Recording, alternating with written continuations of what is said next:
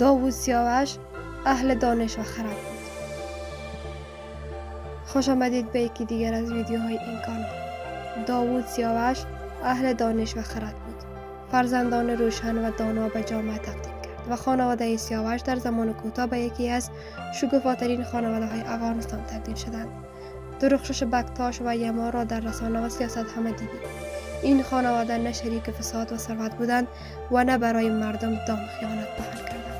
اما مانند هزاران خانواده دیگر قربانی بازی خونین و جنون آمیز جنگ و ساخت شده داوود سیاوش در دو سال و ده ماهی که از جان باختن پسرش میگذرد ناآرام و بیقرار در مورد پسرش می نوشد.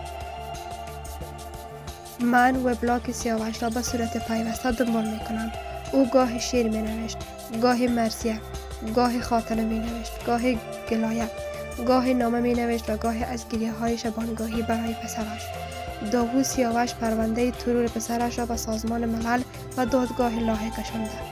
اما به زودی درک کرد که این سازمان ها نه برای عدالت بلکه برای بازی های بزرگ در صحنه بین الملل هستند.